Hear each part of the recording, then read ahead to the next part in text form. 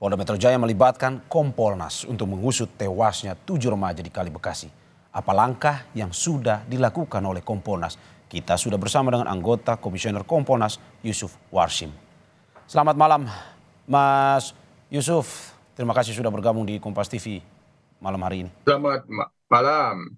Mas, katanya mereka terjun karena melihat patroli polisi dan harusnya ini bisa dikerjakan sendiri oleh uh, Polda Metro Jaya. Tapi kenapa pada akhirnya mengajak Kompolnas dan juga Propam untuk mengusut kasus ini? Apakah mungkin ada kesalahan prosedural yang dilakukan atau bagaimana? Baik, untuk sementara kita menghormati proses dan memberikan kepercayaan penuh proses penyelidikan yang sedang berjalan. Nanti eh, dari pihak Polda Metro Jaya tentu sebagai wujud eh, transparansi kita dorong eh, mengupdate eh, apa perkembangan informasi terkait dengan penyelidikan yang dilakukan. Pertama, kami sendiri tadi sore memang melakukan Eh, komunikasi dan koordinasi kepada Pak Kapolda Metro Jaya. Pak Kapolda Metro Jaya langsung merespon, uh, minta untuk uh, diawasi oleh Kompolnas sebagai wujud uh, transparansi uh, publik di dalam mengusut uh, ditemukannya tujuh uh, mayat di Kali Bekasi ini.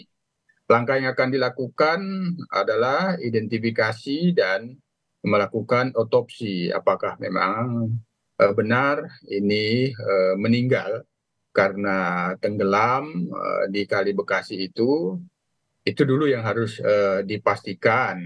Mas Yusuf Lain berarti Polda Metro Jaya terbuka jika pada akhirnya ada kesalahan SOP saat patroli.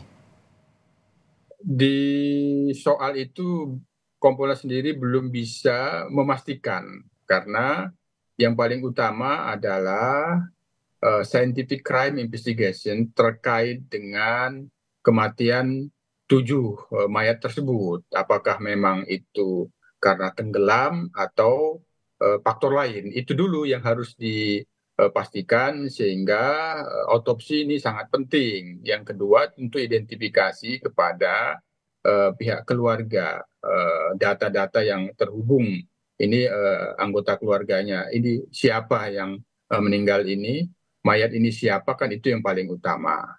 Sehingga dengan adanya otopsi nanti baru kemudian eh, ini bisa dijelaskan apakah memang murni karena tenggelam atau bukan. Nah, itu pun nanti hasil penyelidikannya tentu akan mendapatkan keterangan-keterangan atau bukti-bukti yang membuat tenggelam itu apa? Apakah memang eh, berdiri sendiri eh, lompat atau ada faktor lain yang sementara masih belum bisa dipastikan karena ada dugaan takut ada patroli. Apakah benar demikian? Tentu sekali lagi ini bagian dari proses penyelidikan. Apakah ada uh, peristiwa pidana atau bukan? Terus uh, peristiwa pidana ini nanti kalau ada siapa uh, pelakunya? Tentu sekali lagi biar kita sepenuhnya uh, serahkan kepada penyidik untuk melakukan penyelidikan secara profesional, transparan dan akuntabel. Kompolnas okay. karena sudah Mas diberikan Yusuf. ruang terbuka ya. kepada Pak Kapolda, kami akan terus mengawasinya. Ya, Mas Yusuf, uh, dari aturan yang seharusnya dari Kompolnas sendiri, bagaimana sebenarnya dalam SOP patroli sendiri? Ini karena memang seperti yang Mas Yusuf juga sudah katakan bahwa ada dugaan mereka ini ketakutan ketika melihat patroli itu datang. Dari sekali aturannya lagi, sendiri seperti apa, Mas Yusuf? Sekali lagi, itu kan baru eh, apa namanya namanya dugaan kan belum tentu, belum bisa kita pastikan apakah memang ada patroli atau tidak. Itu kan baru informasi-informasi yang eh, belum bisa mengarah kepada hal yang bisa menunjukkan sebagai bukti ataupun petunjuk adanya patroli. Ini kan baru informasi-informasi yang sepihak sifatnya.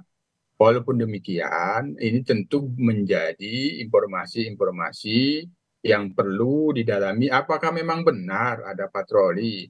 Dan itu siapa yang menyampaikan? Kan itu dalam bentuk kesaksian nantinya. Oleh karena itu, kami mendorong secara profesional agar ini diusut tuntas. Penyebab kematiannya dulu apa, apakah memang tenggelam, dan membuat tenggelam itu nantinya apa, ini adalah proses penyelidikan. Yang penting kita awasi dan penyidik Polda Metro Jaya kami pastikan sebagaimana yang dijanjikan oleh Pak Kapolda akan transparan. Jadi nanti ya. pasti ada akan update informasi. Kalau seperti apa, ini dulu yang kita dorong.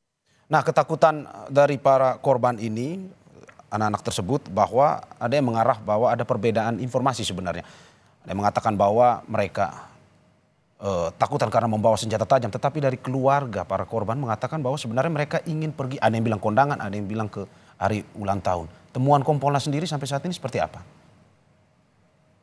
Ini tentu sekali lagi uh, materi yang harus dikumpulkan, informasi keterangan yang harus terus dikumpulkan dalam proses penyelidikan. Apabila sudah teridentifikasi pihak ke, jenazah ini siapa, tujuh orang ini dan keluarganya siapa, nanti kan di sana akan dikumpulkan keterangan-keterangan.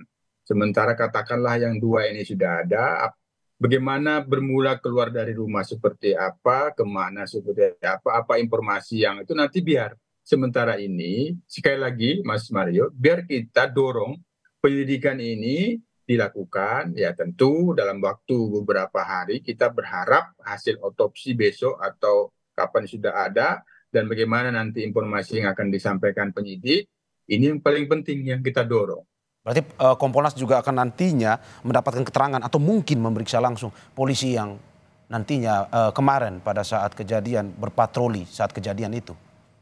Kami sendiri akan terus memantau, mengawasi soal informasi-informasi ada atau tidak patroli itu tentu itu sekali lagi menjadi informasi-informasi yang terkait dengan proses penyelidikan. Jadi biar kita sepenuhnya kita hormati penyidikan yang penyelidikan yang sedang berjalan, yang penting profesional, transparan dan akuntabel. Itu yang akan kita pastikan. Oke. Terakhir Mas Yusuf terkait dengan koordinasi hingga saat ini antara Kompolnas, Polisian Polda Metro Jaya dan juga uh, di Propam. Bagaimanakah sampai saat ini? Kami sendiri karena sudah koordinasi langsung dengan Pak Kapolda dan Pak Kapolda sangat responsif ya kami tentu sudah diberikan uh, ruang terbuka bahwa Kompolnas disilahkan untuk mengawasi, memantau bagaimana prosesnya ini agar on the track. Ya, yang paling penting dipastikan sebagaimana Pak Kapolda koordinasi kami tadi agar ini transparan diusutnya. Ya, oke. Terima kasih Mas Yusuf Warsim, Komisioner Kompolnas atas informasinya malam hari ini. Terima kasih dan sehat selalu Mas.